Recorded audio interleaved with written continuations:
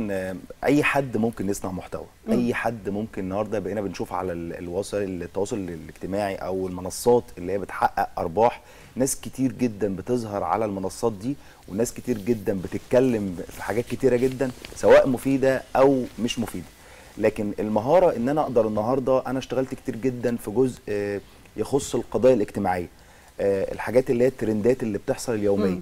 الجزء ده مهم جدا وفي نفس الوقت خطير قوي في الشخص اللي بيقدم المحتوى ده.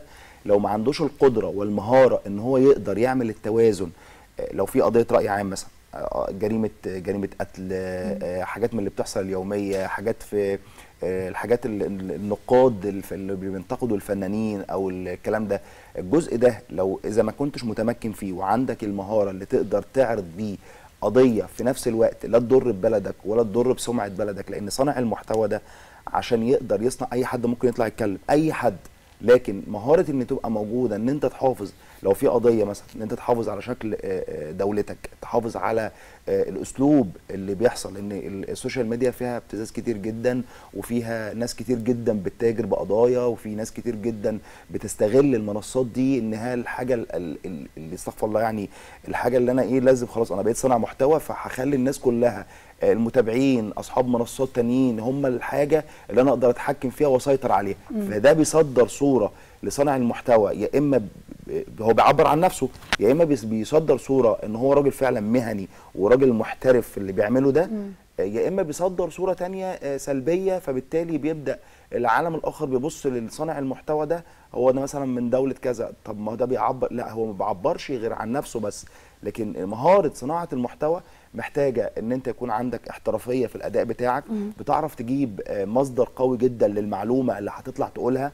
في ناس كتير جدا في طلعت. مصداقية في اللي هو في بيقوله لأن الناس ال- تصدقه والناس تصدقه وفي نفس الوقت الكلام ده عليه رقابة أصلا. يعني لما هي- في ناس برضو قاعدة بتبص على الكلام ده فإذا ما كنتش أنا عندي مصدر الثقة المعلومة اللي هقولها عشان أبني جمهور آه، قوي يبقى مصدقني وفي نفس الوقت ما يبقاش الموضوع فيه ابتزاز أو شتايم أو ألفاظ خارجة ده بيحصل عشان المادة. وحضرتك ما تفهميش برضو للأسف إن بتلاقي إن أصحاب ال ال ال- الشتائم أو الكلام اللي الخارج بتلاقي ليهم جمهور. وجمهور بالعكس عايز أقول لك الريتش عندهم يعني الناس بتشوفهم أعلى بكتير. يا فندم ده أنا عايز أقول لسيادتك ان إن طب ليه؟ طب ما دي يعني نقطة كويسة. ليه طيب؟ عايزة آه، أعرف ليه. بيحصل ده؟ يعني أنا النهارده لما أجي أطلع أنا ممكن مثلا أطلع أعمل محتوى. أقعد آه، أجيب سيرة حضرتك وأجيب صورتك وأقعد آه، أبتز فيكي بشتايم وبكلام ملوش أي 30 لازمة وبكلام أصلا ملهوش فالناس بتحب دليل. الفضول، عايزة أعرف قصة فالناس بيحصل الخناقة. عندها آه. فضول. فأبدأ أنا إيه؟ وممكن أكون متفق مع واحد صاحبي على. فكرة. آه، أو طبيعي. واحدة أو واحدة بتقدم محتوى اكون متفق معاها. خلي بالك إحنا النهارده هنطلع ترند في واحد النهارده اتنين نعمل تلاتة. لقطة فناخد فانت الم- بقى جهزي نفسك. آه فانت جهزي نفسك في الحتة دي وهتفضل بقى السجال رايح جاي ما, بينه وبينك وفي نفس الوقت المتابع نفسه هو عايش في غيبوبة. يعني للأسف إن ده بتلاقيه. بلاقي نفسي المتابع بي- بيحب ده وعنده الفضول يعرف ده ويبدأ يدعم كمان بفلوس يبدا يبعتها بقى كمان. هدايا. ويبعت فلوس فلوس كتير جدا.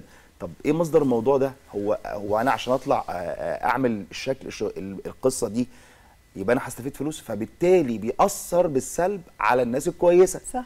طب أنا أنا هصنع محتوى إزاي في, في وسط ما أنا شايف واحد ممكن ياخد في اليوم 50 و60 ألف جنيه في ساعة زمن عملها وبيطلع لايف يشتم على الناس وبيشتم على ومحتوى الناس تافه وبيستفيد- جدا ومش هادف وفي خالص. الآخر يجي يقول لك. إيه آه لا أصل خلي بالك أنت لو رحت حولتني لل... لل... لل... عملت لي قضية أو محضر في الآخر هتحول المحكمه اقتص- اقتصادية ممكن ترسى في الآخر على 10000 جنيه على صح. حسب الموضوع. على مبلغ بسيط طب جدا. ده هل ده محتاج قانون يتم تفعيله آه، يجرم بشكل الفعل ده فعلا.